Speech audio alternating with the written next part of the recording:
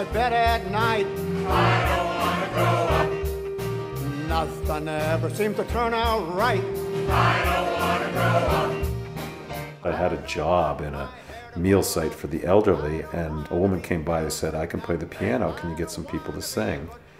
And we did that, and about 25 people showed up, and then within about a year, we started doing stuff for the public, and then it just never stopped. I met a fellow that belonged to the Young at Heart in the grocery store, and I listened to them. I said, where did they get this music from? I've never heard this music before.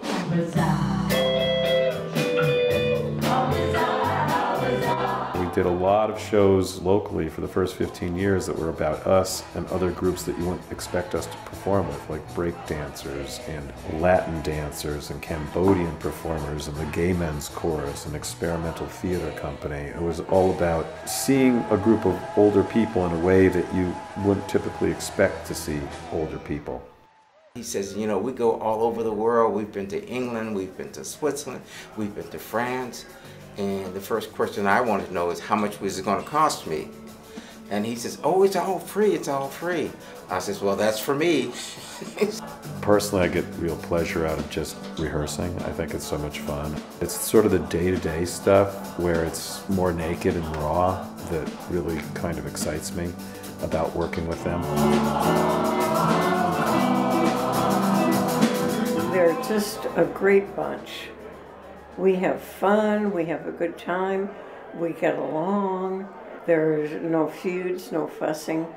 sounds kind of dull and boring, but it isn't. It's a good group, and they genuinely care for one another. I mean, when one person is out sick, you know, half of the course call that person to find out how they were doing and send them cards and whatnot. I think that since we're older senior citizens, that you know we've lived our lives, so it's just now fun. The only thing we've got got to look forward to is death right now. I think it's really useful to be an old person confronted with young energy. I think that's a huge, huge boost for anybody at that point in their life. I didn't want to sing any old fart songs, you know, uh-uh. No, no, no.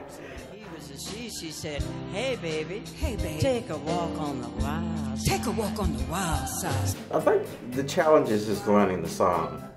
I didn't sing very much at all before this. At my second rehearsal with the group, Bob Cilman walked up to me and says, here, I want you to learn this, and walked away. And I looked at the music, and it was Michael Jackson's I Want You Back and Man in the Mirror. And so on the way home, I was telling the fellow that bought me that I says, well, I didn't join the group to be Gladys Knight. I'm quite willing to be just one of the pips. I don't need to be a soloist. But I learned the music, and it's, it's great fun. They're very focused, they're very excited about being there. Two really important things. I learn a lot from their life experiences. And we've been in so many different kinds of situations together that you learn how to be as a group of people. And, you know, they like to say they're family, but it's not right. You know, they're not family. If they were a family, they'd be dysfunctional on some level. They're this group that's on a mission sort of thing. I really truly believe it keeps us younger. I enjoy every minute. I, I love everything I do. It's a, a joyful experience for me.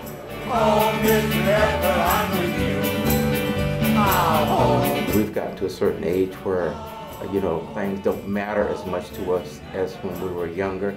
You know, we had our children to raise, we had our house to buy, things like that. And all those things are behind us now. So we're just living life day at one day at a time. Yes, I am home.